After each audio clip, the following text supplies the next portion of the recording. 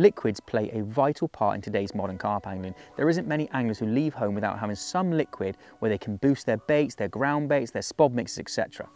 SPM has had the fantastic deep fish for many years and if you're lucky enough to have tried it you know the effective pulling power of this stuff. It is a liquid hydrolysate and cyprinids love it. Not only that, we've had reports from specimen anglers who have reported they're using it for tench, barbel, bream, etc. in their ground baits, even on hook baits. It really is absolutely fantastic. You can put it into solid bags, it's going to be PVA friendly. You can also use it in liquid form so you can spod it over zigs and it's really effective in cold water because it disperses really, really well. Personally, I like to dip my stringers in it, my stick mixes in cold water situations and it really definitely gives me that extra bite when days where you need that little edge to get the fish down onto your hook bait.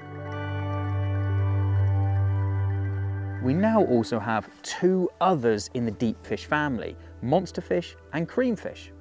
Creamfish, as the name suggests, it has got a really nice cream stimulant to it and also a blend of the MP1 flavour compound inside it. It's got a really nice creamy sweet aroma which lends itself really well if you're fishing with our MP1 baits or other sweet baits or you're just an angler who likes something that is a bit more creamy and sweet. Creamfish, exactly the same as the deep fish, it's just got cream stimulant in it and the liquids.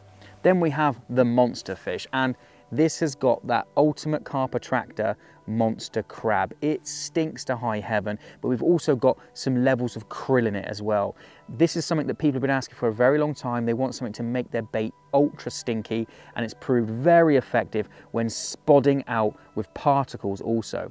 So there we have it. That is the deep fish family. You've got the original, the classic, tried and tested. You've got the new cream fish for something sweet and creamy. You've got something really smelly and stinky for the monster fish.